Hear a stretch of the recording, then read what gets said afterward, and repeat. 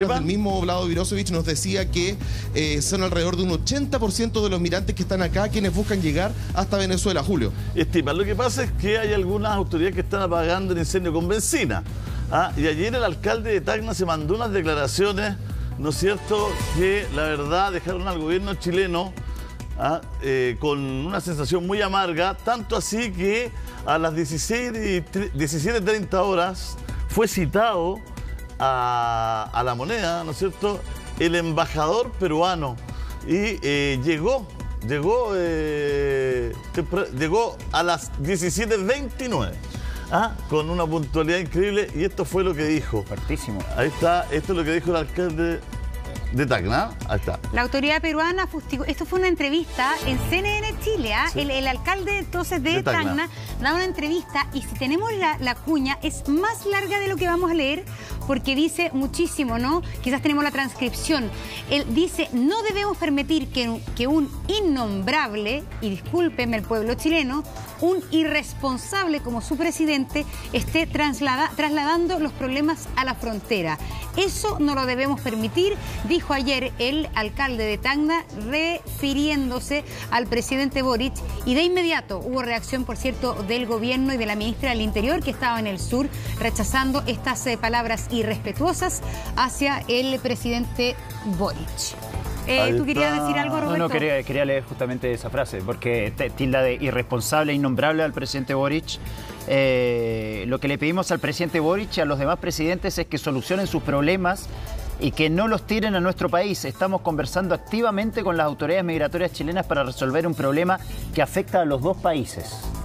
Es que ahí mejoró el tono, pero esa era la idea. Yo creo que si hubiese dicho Innombrable e irresponsable. Sí, y sabes que dijo unas, unas cosas más, dijo como, eh, nosotros no somos responsables de que los chilenos hayan elegido a esta persona. No, me acuerdo el, texto completo, pero claro, esto reaccionó de inmediato y es por eso que eh, en este sistema de la diplomacia, ¿no? en estos rituales de la diplomacia, es que se llama al embajador peruano a Cancillería para presentarle una carta de protesta por los dichos entonces del eh, alcalde de Tacna. Es que le echa la, culpa, le echa la culpa al gobierno de querer empujar a los, a los migrantes. Y el modo, el modo no es un modo diplomático. Eh, eh, además, Monse, estas autoridades peruanas y, el, y, también la autoridad boliviana se están tratando de desentender de una manera de este problema que es eh, raya, raya en lo maleducado. O sea que eh, ellos piensan que eh, estas personas, estos ciudadanos venezolanos, llegaron un platillo volador a Chile. O sea, Bolivia es un pasadizo hacia Chile y después no toman ninguna, no, no tienen ninguna responsabilidad si estas mismas personas quieren irse. O sea, es un pasadizo de entrada, pero es una muralla de salida para ellos. Y ahora cerraron el paso. Ahora no deberían llegar más a través de Perú porque están cerrando toda la frontera. Sí, pero, lo que ya tenemos, digamos, lo que ya ha pasado. O sea, Bolivia ha sido un pasadazo eterno, ¿no es cierto? Para, para porque no resguardan su frontera en Bolivia. Ah, se les pasan de, Perú a Bolivia, de Bolivia a Chile, los migrantes venezolanos. Y de pronto nos encontramos con que estos gobiernos se desentienden como si el problema fuera de un solo país.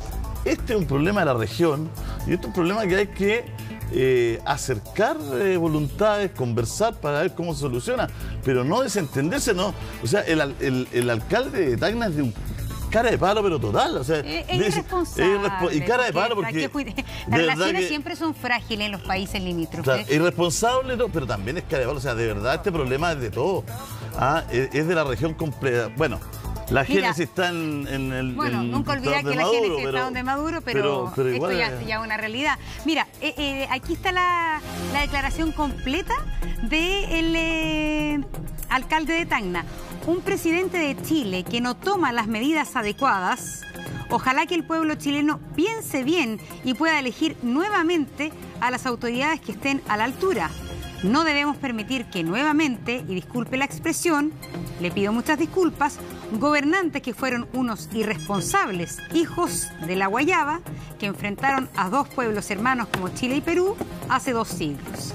Y ahora no debemos permitir que un innombrable, y discúlpeme, pueblo chileno, irresponsable como su presidente, esté trasladando los problemas a la frontera. Esto no lo podemos permitir, hermanos. Es decir, en el fondo, por eso es tan diplomáticamente es tan complicado porque también se mete en la política interna, no solo criticando desde afuera a un presidente, sino que también la política interna de por qué los chilenos eligieron a este presidente.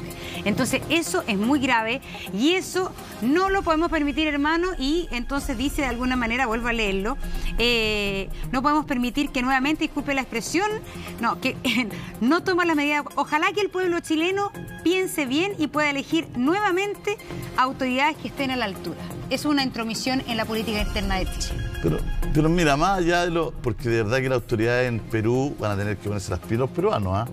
Tú sabes que el gobernador, este señor Luis Torres, el que, el que tiene el de, sin cabello, que hemos dado 10 cuñas de él, del gobernador de Tacna, está preso. Eso es, increíble.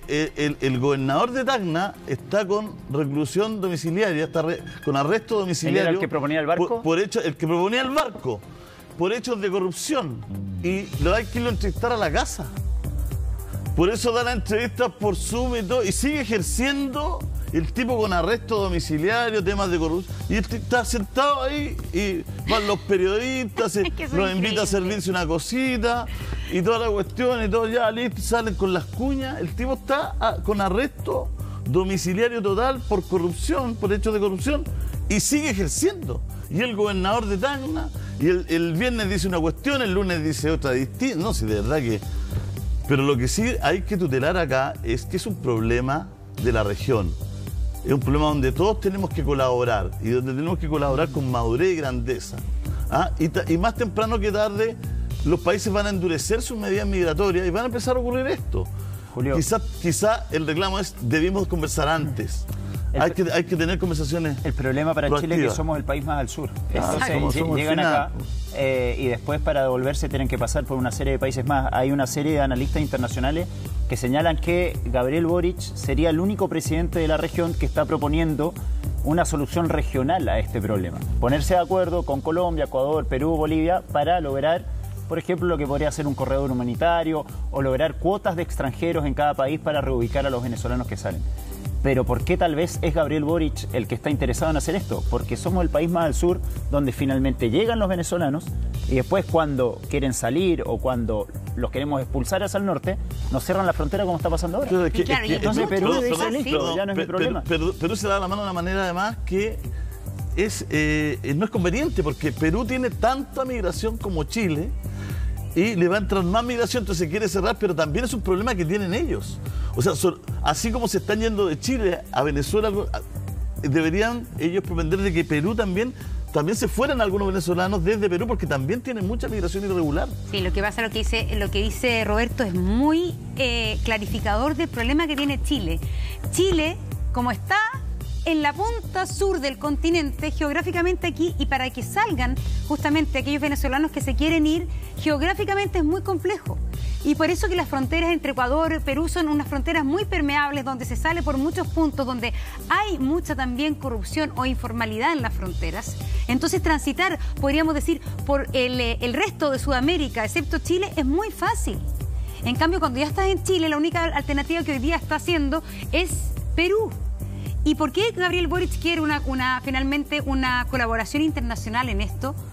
Eh, es porque no nos queda otra que pedir ayuda porque estamos al final del continente. Pero existe, quiere y le conviene y tiene real interés Perú, Ecuador, Bolivia en colaborar con esto, no, porque a ellos de alguna manera lo que les conviene es que Chile se la arregle solo. Sí, pero Monse, pero ¿por qué me argumento? Porque a Perú en algún momento también le va a convenir este corredor sigue, no se acaba en Perú. También le va a convenir a Perú que, la migración que tienen ellos, que es más brutal que en Chile. Lima está peor que Santiago en términos de cantidad, en términos de ocupación. Pero, mira, yo entiendo que no quieran entrar más, que ellos no quieran hacer ingresar más. Pero por eso el corredor no es que ingresa a tu no, lo que pasa es que hay una diferencia súper grande. Para el venezolano que quiere salir de Perú, no hay problema.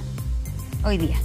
El venezolano que quiere salir de Perú vía Ecuador o vía Colombia, hay un montón de pasos fronterizos y no hay problema a pesar de que haya el día de ayer declarado emergencia en las fronteras. Hoy día no es problema salir de Perú y en ese sentido, por eso Perú también está con la actitud que está, porque no quiere, no quiere más migración irregular. Ellos no quieren más migración irregular. Pero, entonces por eso no quieren que entren estos cientos de personas desde Chile. Y de alguna manera las personas que se quieren ir, que no son todas, es una minoría las que se quieren ir, en este momento no tienen dificultades para irse del Perú. Pero por eso lo conveniente, por eso, por eso digo que en algún minuto va a tener que ser una cuestión madura. ¿No es cierto? Perdón, perdón el juego de, palabras, pero por maduro hay que tomar actitudes maduras, digamos. Un corredor tú tienes una situación que la manejas, la lideras, la dominas, ¿no es cierto? Y tú vas, vas como Estado, los distintos estados van viendo sus soluciones. En el fondo es una salida, ¿no es cierto?, pertinente donde ejercen los liderazgos los estados y no queda libre albedrío de lo que pasa en una frontera. Estoy totalmente de acuerdo contigo, pero haciendo como política práctica, creo que de verdad al único país que le interesa el corredor humanitario de verdad como urgencia es a Chile. Porque en rigor, hoy día, cualquier venezolano que se quiere ir de Perú, de Ecuador o de Colombia puede llegar a Venezuela sin problema a nivel de frontera. Entonces, de verdad Chile está bogando porque esto ocurra, pero y yo dudo que de verdad haya un esfuerzo real de los otros países porque no les interesa, no tienen el problema que tiene Chile.